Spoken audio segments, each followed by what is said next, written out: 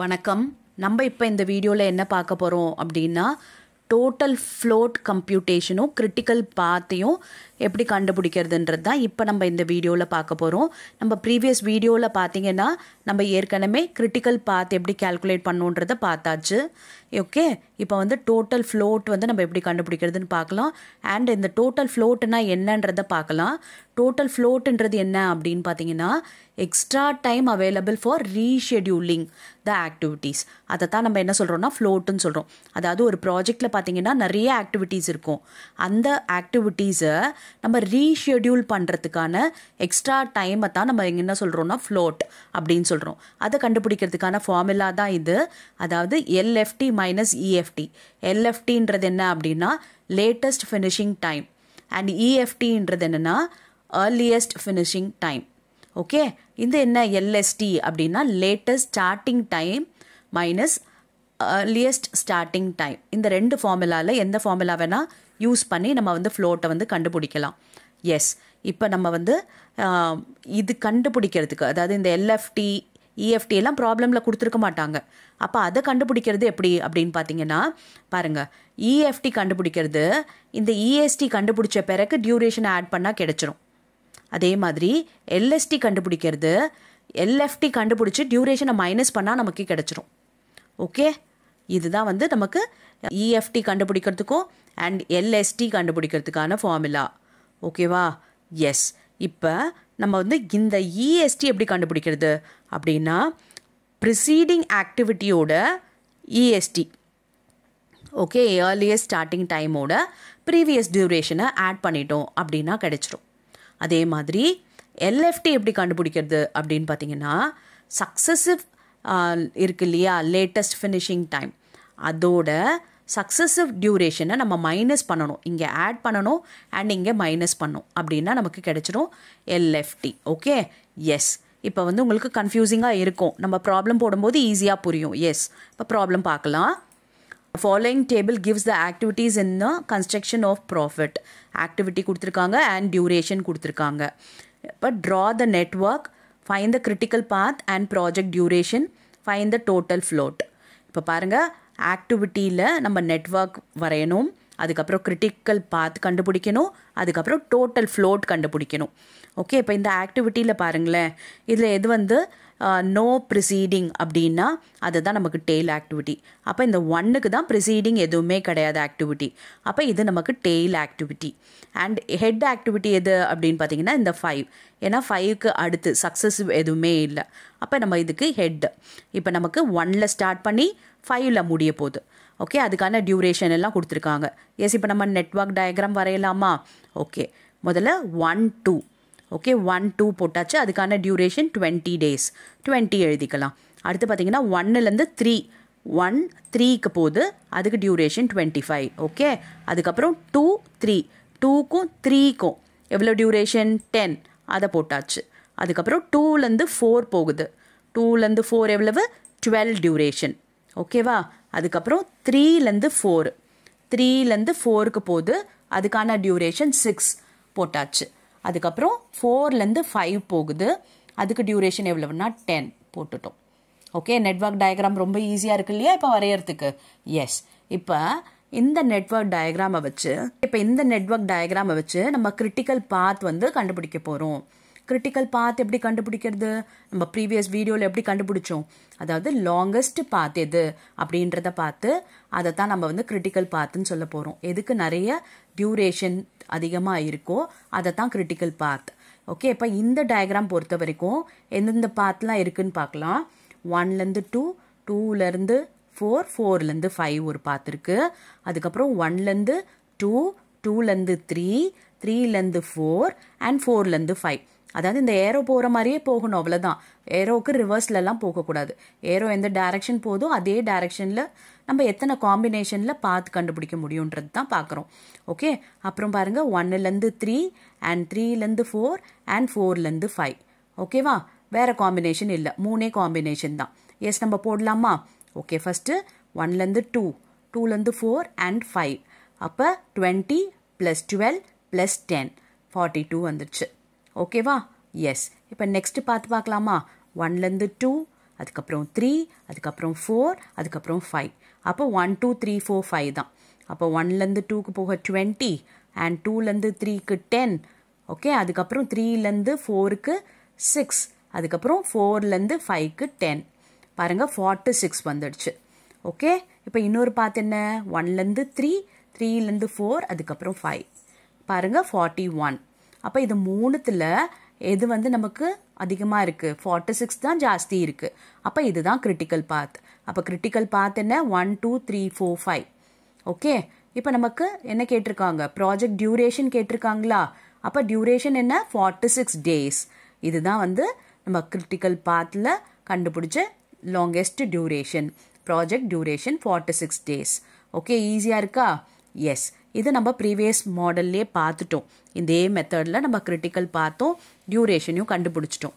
இப்போ நம்ம நெக்ஸ்ட் என்ன கண்டுபிடிக்க போகிறோம்னா டோட்டல் ஃப்ளோட் ஓகே அப்போ அந்த டோட்டல் ஃப்ளோட்டை கண்டுபிடிக்கிறதுக்கு நமக்கு ஒரு ஃபார்மெட் இருக்குது ஓகே பாருங்கள் இதுதான் அந்த ஃபார்மெட் இல்லை ஆக்டிவிட்டியே கொடுத்துருக்கான் டியூரேஷன் கொடுத்துருக்கான். அதை மட்டும் அப்படியே எழுதிக்கலாம். அண்ட் மீதி எல்லாம் நம்ம கண்டுபிடிக்க போகிறோம் EST EFT LFT and LST okay இப்போ இது எல்லாமே நம்ம கண்டுபிடிக்கணும். ஓகே இது எப்படி கண்டுபிடிக்கிறது அப்படின்னு பார்த்தீங்கன்னா நம்ம இந்த டெய்ல் ஆக்டிவிட்டியிலேருந்து நம்ம இந்த ஃபைவ் இருக்கு இல்லையா எண்டு ஹெட்டு இதை வந்து நம்ம போகிறதுக்கு நம்ம வந்து அப்படியே ஒன் பை ஒன்னாக இதை நோடுன்னு சொல்லுவோம் இல்லையா?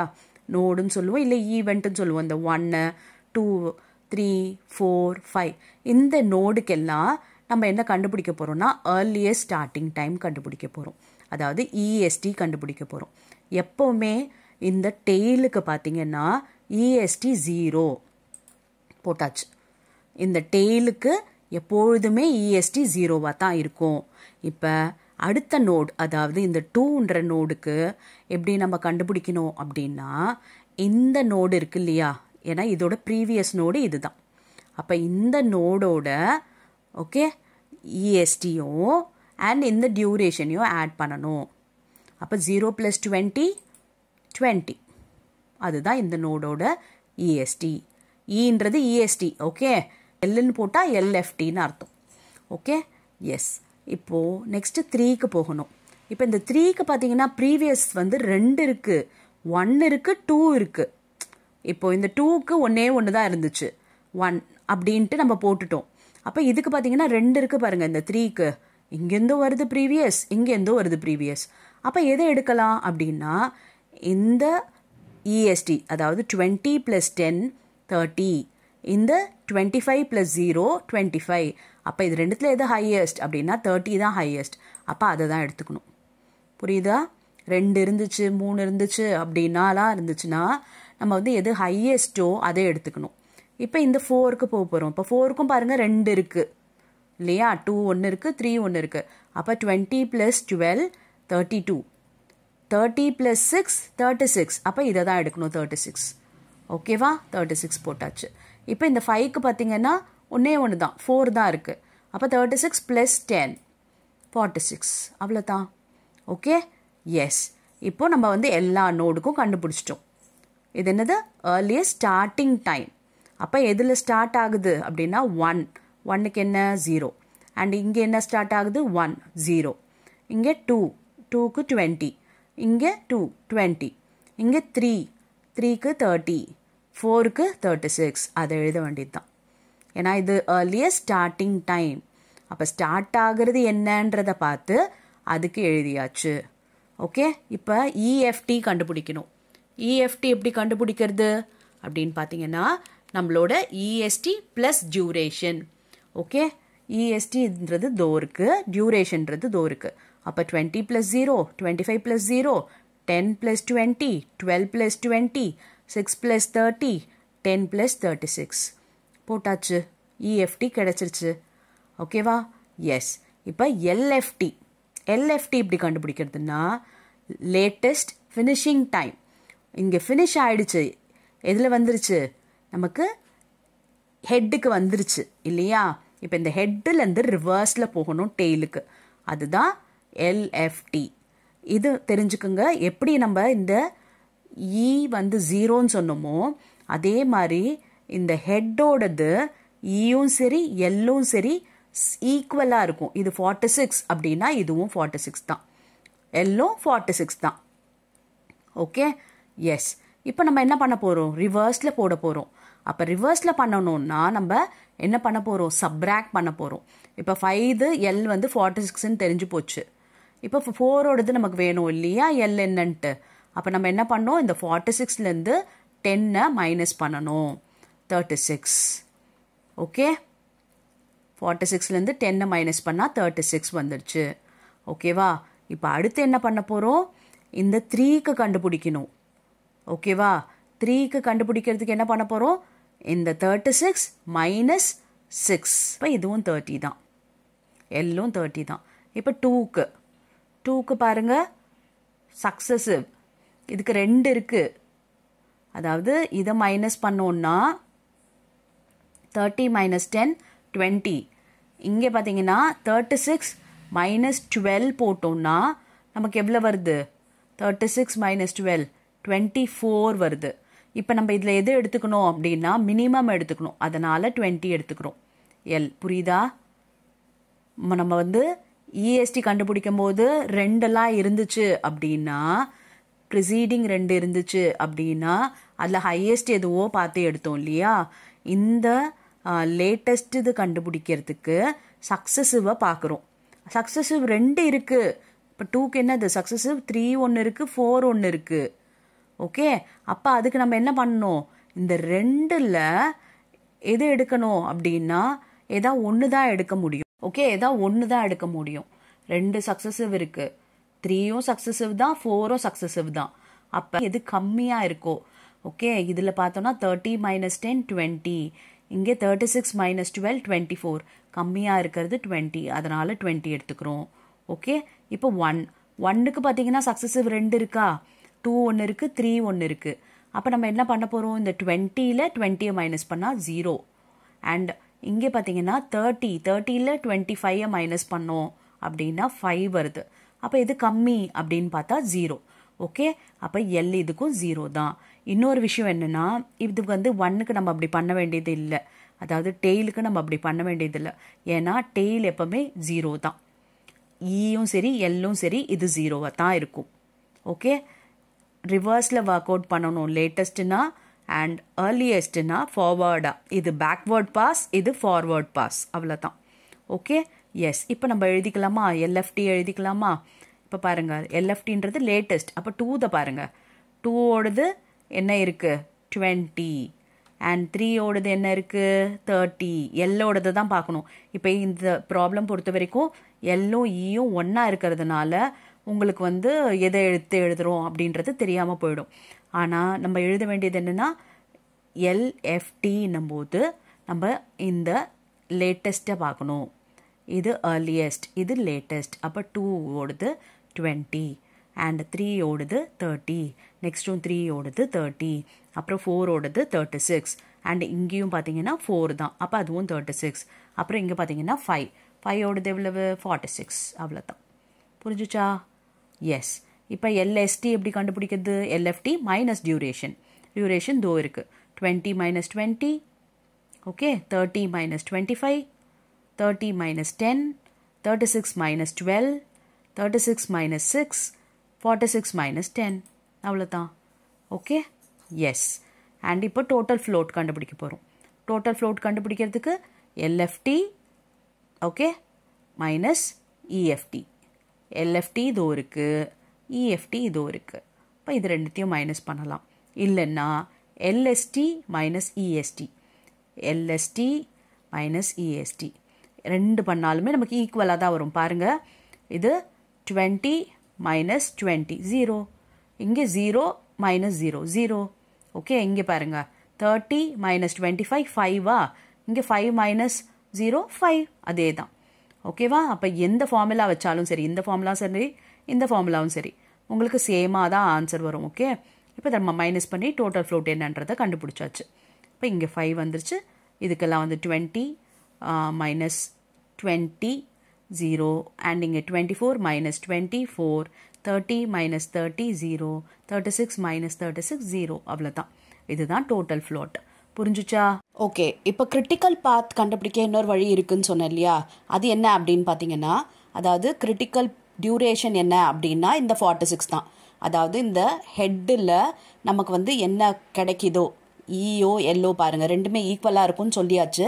அது வந்து என்ன கிடைக்குதோ அதுதான் வந்து நம்ம கிரிட்டிக்கல் டியூரேஷன் ஓகேவா இந்த டியூரேஷன் அதாவது ஃபார்ட்டி சிக்ஸை எந்த பாத் மூலமாக வருதுன்னு பாருங்களேன். இங்கே twenty டுவெண்ட்டிலேருந்து thirty thirty plus six thirty six and இது டென் ஃபார்ட்டி சிக்ஸ் ஓகேவா அப்போ இதை தான் வந்து கிரிட்டிக்கல் பாத் ஓகேவா கிரிட்டிக்கல் பார்த்த எப்பவுமே பார்த்தீங்கன்னா நம்ம நல்லா போல்டு லைனில் இதை மாதிரி நம்ம சொல்லிக்கலாம். ஓகே இல்லை டபுள் லைன் யூஸ் பண்ணி நீங்கள் இதை மாதிரி அந்த பாத்தை வந்து ட்ரேஸ் பண்ணலாம். ஓகேவா இது பார்த்தீங்கன்னா இந்த ஃபார்ட்டி சிக்ஸ் எது வருது?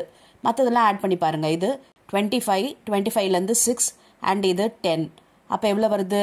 தேர்ட்டி ஃபைவ் ஃபார்ட்டி ஒன் அப்படி தான் வருது இல்லையா?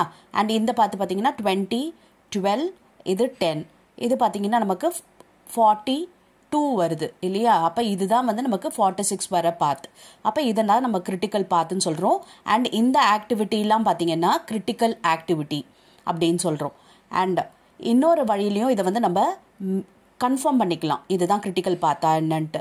என்னென்னா இப்போ நம்ம கண்டுபிடிச்சிருக்கோம்ல ஃப்ளோட் இந்த ஃப்ளோட்டோடது பாருங்களேன் கிரிட்டிக்கல் பாத்தில் பார்த்தீங்கன்னா கரெக்டாக ஜீரோ இருக்கும். இதில் ஜீரோ இருக்கா? அண்ட் இதில் ஜீரோ இருக்கா?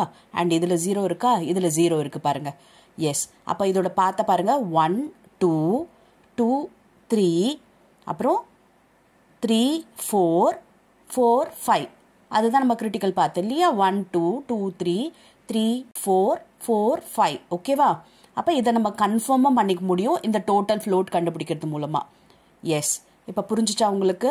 இந்த கிரிட்டிக்கல் பார்த்து எப்படி கண்டுபிடிக்கணும் அப்படின்னு சொல்லிட்டு நம்ம முன்னாடி ப்ரீவியஸ் வீடியோவில் பார்த்ததோ இல்லை இப்போ நம்ம ப்ரீவியஸாக சொன்னதும் ஒரு மெத்தடில் கண்டுபிடிக்கலாம். அண்ட் இன்னொன்று பார்த்தீங்கன்னா இதை மாதிரி நம்ம இந்த லேட்டஸ்ட் இது கண்டுபிடிக்கிறோம் இல்லையா? இது ஈக்குவலாக நமக்கு கிடைக்கும் போது அதை தான் வந்து நம்ம கிரிட்டிக்கல் பார்த்துன்னு சொல்கிறோம் அந்த டியூரேஷன் சொல்கிறோம் அண்ட் இது அரைவாகணும் அப்படின்னா எந்த பாத் மூலமாக வருது அப்படின்றத பார்த்து சொல்லிடலாம். அண்ட் இன்னொரு விஷயம் என்னென்னா இந்த டோட்டல் ஃப்ளோட்டு பார்த்தீங்கன்னா நமக்கு ஜீரோவாக இருக்கும். ஓகே எஸ் இப்போ நான் உங்களுக்கு ப்ராக்டிஸ்க்காக இதே மாதிரி மாடலில் ஒரு ப்ராப்ளம் கொடுத்துருக்கேன். இந்த ப்ராப்ளமை ஒர்க் அவுட் பண்ணுங்கள் அண்ட் கமெண்ட்டில் ஆன்சர் பண்ணுங்கள் I'll check you answer thank you for your patient listening